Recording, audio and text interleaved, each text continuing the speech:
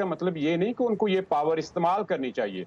وہ جو ہے نا یہ پولیٹیکل آئیڈیاز جو ہیں ان کی یہ بیٹل چل رہی ہے between the conservatives and the liberals آپ جیسے دیکھ رہے ہیں کہ پریزیڈنٹ صاحب ٹیرفس لگا رہے ہیں جو کہ یہ امریکن ویلیو نہیں ہے یہ ان امریکن ہے وہ کر رہے ہیں۔ یہ پھر ڈیو پروسیس کے اوپر ان کی سٹیٹمنٹس آ رہی ہیں۔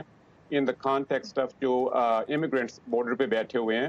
اور ابھی تو یہ اٹس اے پولیٹیکل تھنگ جو پریزیڈنٹ ہے وہ پالیٹکس میں انوالو میں اور کورٹ ان کو یہ کہہ رہی ہے کہ ٹھیک ہے ہم آپ کی پالیٹکس کے ساتھ شاید پورا اگری نہیں کرتے۔ لیکن اگر ہم اس کو آبجیکٹیولی دیکھیں تو یہ جو تیسرا ان کا ورژن ہے یہ کانسٹیٹیوشنل مسٹر جو ہے اس کو پاس کرتا ہے۔ اچھا یہ فیصلہ جو اب آیا ہے صدر ٹرمپ کے اختیارات ہوں یا پھر مستقبل میں آگے جو بھی صدور آتے ہیں ان کے اختیارات ہوں۔ اس کے حوالے سے کیا معنی رکھتے؟ ہیں کیونکہ ایک چیز جو ہم نے دیکھی کہ کورٹ نے اس بارے میں بہت آرگیو کیا کہ صدر کے جو بیانات تھے اسلام مخالف اور مسلمانوں کے خلاف ان کو اس فیصلے میں ایک سائیڈ نے فیکٹر ان نہیں کیا جنہوں نے اس کے حق میں فیصلہ دیا اور دوسری سائیڈ جو اس کی مخالفت کری تھی وہ فیکٹر ان کر رہے تھے۔ تو صدر کے اختیارات اور صدر کے جو ریٹرک ہیں، بیانات ہیں، ان کے لحاظ سے یہ مستقبل میں اس فیصلے کا کیا اثر آپ دیکھتے ہیں؟ دیکھیں مجھے لگتا ہے کہ یہ جو فیصلہ ہے، یہ پریسیڈنٹ جو ہے، یہ رہے گا۔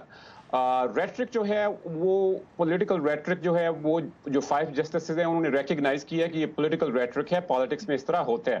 لیکن اس کا مطلب یہ نہیں ہے کہ جو میسج ہے اس کی ریٹرک کی وجہ سے اس کا جو میسج ہے اس کو ہم ریجیکٹ کر دیں۔ تو یہ وہی میں جو کہہ رہا ہوں کہ یہ بات اس چیز کی ہے کہ یہ اگر پالیسی بنانے کی پاور ہے تو اس کا مطلب یہ نہیں کہ یہ بنانی چاہیے۔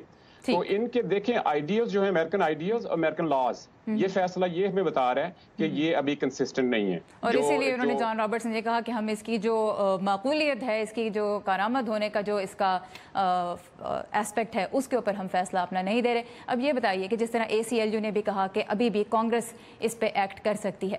کانگریس کو کیا اس معاملے میں اب پڑھنا چاہیے؟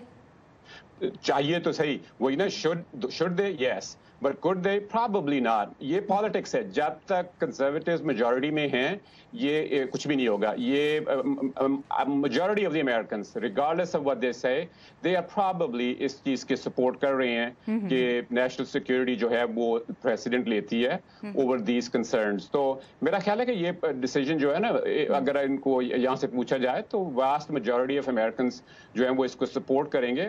یہ جو امریکن آئیڈیلز ہیں یہ ان کے اگینسٹ ہے لیکن بہت سی چیزیں ایسی یہاں پہ ہوتی ہیں جو آئیڈیلز پہ نہیں رہتی لیکن آئیڈیلز کے تو مخالف ہوتی ہیں۔ لیکن آئین سے مطابقت رکھتی ہیں وہ اور یہ بھی اسی طرح کی ایک پالیسی ہے۔